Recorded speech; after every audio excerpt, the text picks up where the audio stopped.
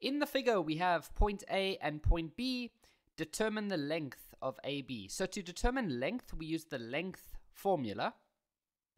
Well, you might think of it as a distance formula. Distance and length, same thing. So the, dis- the well, let's call it the distance. I prefer that. Uh, I know most of you do as well. So we're going to go AB is the square root. And then this formula goes, we take the x value of the one point minus the x value of the other point, and then we do the same with y. Okay, so now you just go fill in your formula. Super, super easy. You see how it has brackets, so let's keep the brackets. So it says take the x value of point B. Okay, that's 4. Then it says minus, so we put a minus, and then we must minus this one, so we just put minus 5. Then we're going to take the y value of point B, which is this one. Then it says minus, and then we're going to minus this one. Then you can just go type that in on the calculator exactly as you see it. Please don't change anything. Even when you see two negatives here, put the two negatives on the calculator.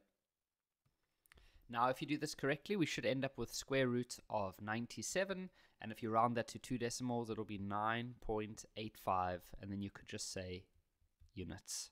So 9.85 units. This one says determine the coordinates of the midpoint. Okay, so midpoint, we use a capital M like that, and the formula is, so with this one, you typically, you're just going to add the x values together, so it's the x value of point A plus the x value of point B, divided by 2, and then it's the y value of point A plus the y value of point B, divided by 2. And so now we just go fill in the formula. So it says we take the x value of point A, which is minus 5, then the x value of point B, which is 4. And by the way, don't be so worried about like, should we put A for, Like, for example, over here, should we put A first or B first? And over here, should we put A first or B first? It doesn't matter. As long as, if over here you chose A, then you must choose A over here. And then if you chose B first over here, then you must choose B first over there. So just make sure that um, you keep the pattern the same. Um, where are we? Divide by 2.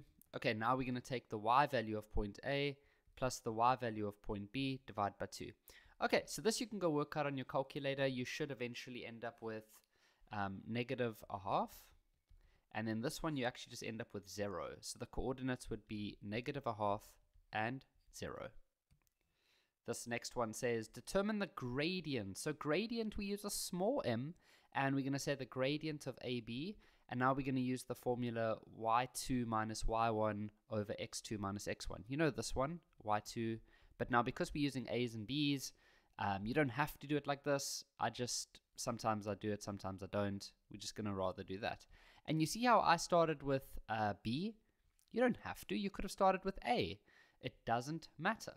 And so let's go fill that in. So the y value of point B, negative 2. The y value of point A is 2 the x value of point B is 4, and the x value of point A is minus 5. Go ahead, you can just type that in on the calculator.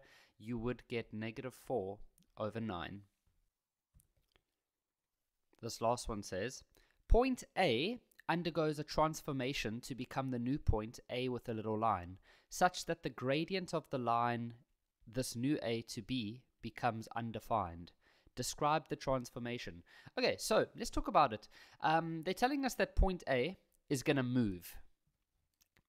And wherever it moves to, it's going to become A with a little line, okay?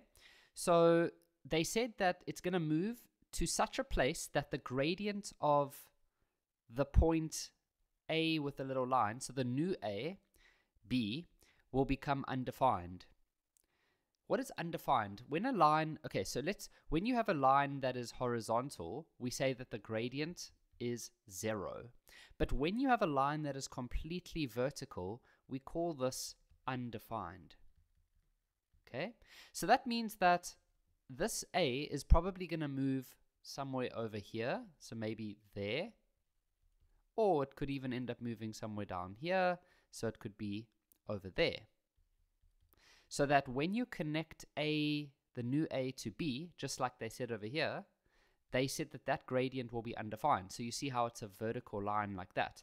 Now, to try to figure out what it or which one it does, remember they said that it undergoes a certain transformation. So, what you need to read there is that it's only going to do one thing. So, it's not going to move a little bit down and a little bit to the right or a little bit up and a little bit to the right. It's only allowed to do one thing. So, the only way you could do this is to move it there. So, it's going to end up going over there and then this will be the new A with a line and then you can see that that line there would be completely vertical so it would have a gradient that is undefined.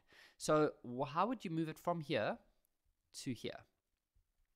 Well think about what the x value is over here. Look at this dot. Can you see it has an x value of 4 so because this dot is directly above it will also have a grade uh, x value of 4 because it hasn't gone left and it hasn't gone right. So it must have the same x value.